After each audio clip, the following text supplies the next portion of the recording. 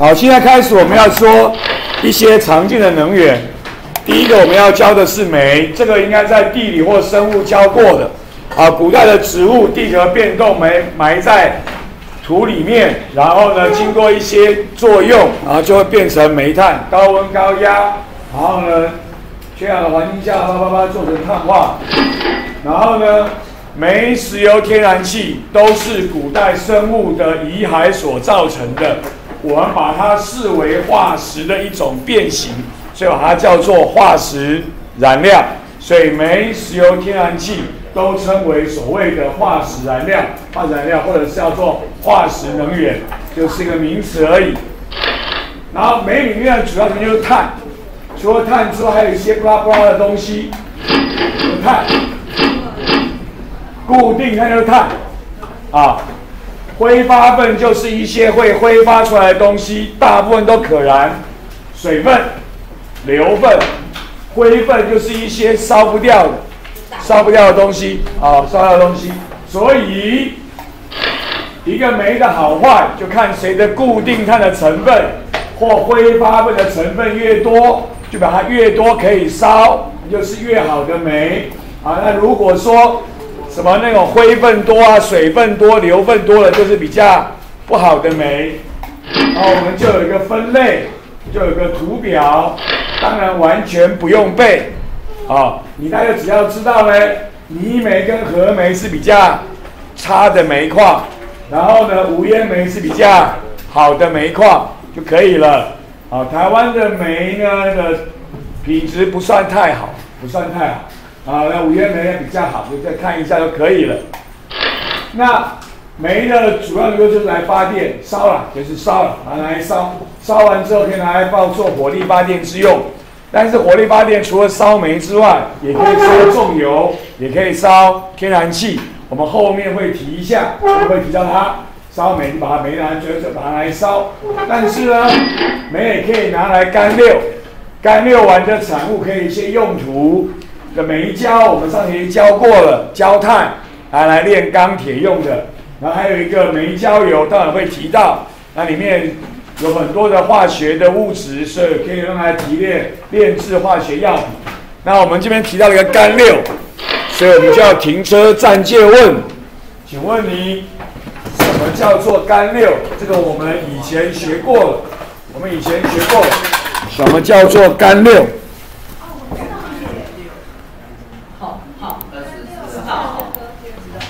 干六是什么意思？二十八。包起来，烧烧烧，隔绝空气加热。很好，干六的意思叫做隔绝空气加热。来，我们以前学的是干六什么东西？我们有得到什么东西？我们讲过的东西有两三样，你给我讲一两样出来。啊，讲两样出来。我们干六得到什么东西？给我讲两样出来。OK。我们干六了什么？得到了什么东西？干干六了什么？得到了什么东西？OK，我们找一个可爱小女生有吗？你们班没有十八号、九号、九号。我们干六什么东西？得到了什么玩意儿？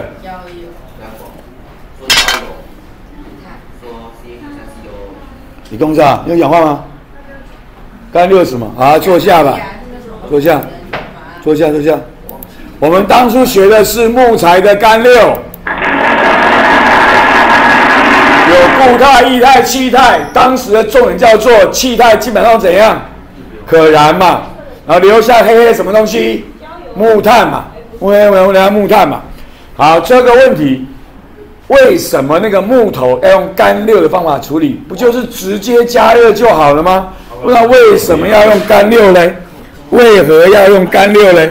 那是为了什么原因？我们要采取干六的方法呢？三一，三一，我们为什么要用干六呢？为什么要隔绝氧气呢？才知道里面的产物。你你没有讲到重点，你没有讲到重点，你没有讲到重点。有氧会怎样？烧掉，会燃烧，是然后就会烧掉。烧掉。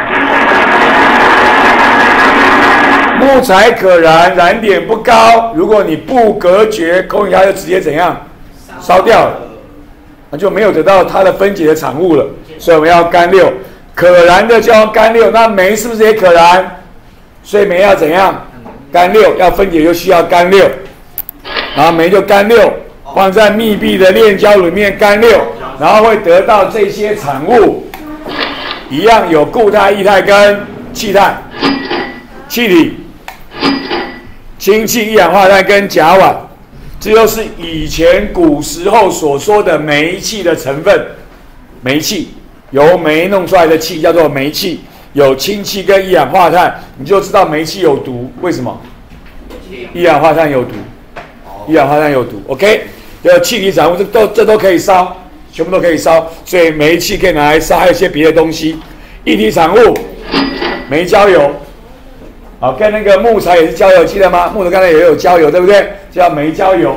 那也是很多化学物品所产生的混合物，所以可以集中去炼制我们的化学药品。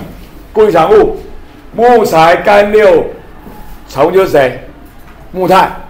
这个成分就是谁？煤炭、煤焦，或者叫焦炭。主要成分也是碳，主要成分也就是碳，煤焦焦炭。这是我们上学期讲炼钢的时候、炼铁的时候讲过的。我们里面加焦炭。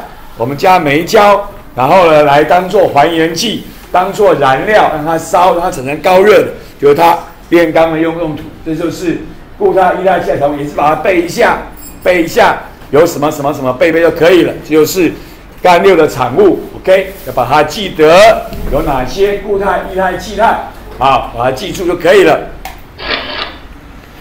烧完就是碳，正常烧出来就是二氧化碳。除非是氧气不才会变成一氧化碳，然后但是它里面有些杂质的成分，比如说有硫分，就会烧出二氧化硫、硫氧化物，或者是一些什么氮氧化物这些杂质，然后一些刚刚讲过那些灰分，那烧不掉的无机物的成分，就会变成飞灰，那当然会造成一些问题啊。当初呢，有人去抗议了，那新达火力发电厂。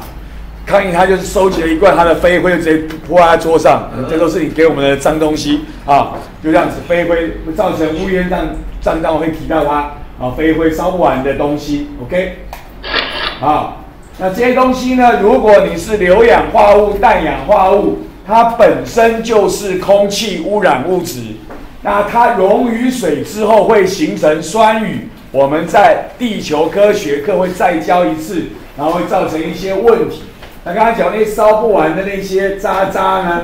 渣渣呢就会是飞灰呢，是悬浮为力，飘在空中，造成所谓的乌烟瘴气啊，天空会灰蒙蒙的啦。然后呢，很多的小小的细细的脏东西啊，脏东西。那么烟煤要生煤，烧完之后有很多这样空气污染，不适合当燃料。